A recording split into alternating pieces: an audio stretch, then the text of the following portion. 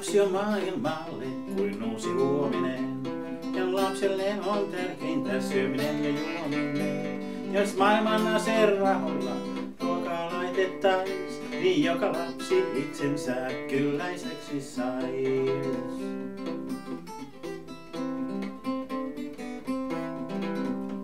Lapsi on maailmalle kuin uusi huominen. Ja lelu aina lapselle on mukava tuominen. Jos maailman aseet tehtaan vain leluja valmistais, niin siitä lelu läjästä joka lapsi monta sais.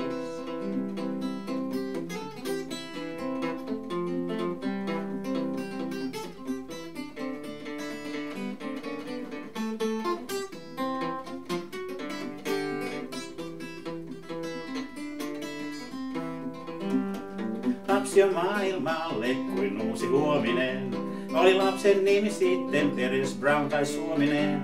Jos toisiansa ihmiset kyllin arvostais, ei maailmassa varmaankaan niin paljon tapeltais.